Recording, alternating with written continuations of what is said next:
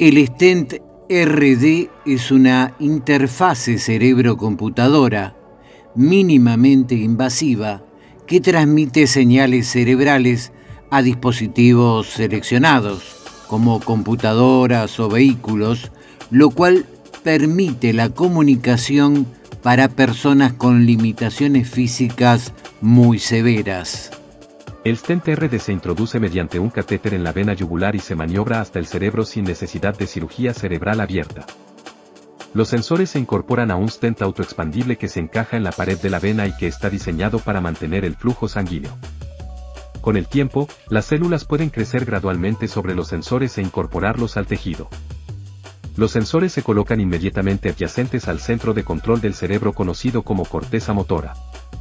El paciente puede estar paralizado, pero su centro de control motor puede seguir activándose, simplemente con el pensamiento. El sistema está diseñado para transmitir estas señales cerebrales fuera del cerebro, fuera de la vena, y a una unidad implantada bajo la piel en el pecho. Esta unidad está programada para captar señales cerebrales continuamente y, cuando se conecta a un receptor externo, puede enviarlas a un ordenador. El centro de mando en el cerebro está ahora directamente conectado al software, y el paciente intentaría entrenar su cerebro para el control directo del sistema operativo.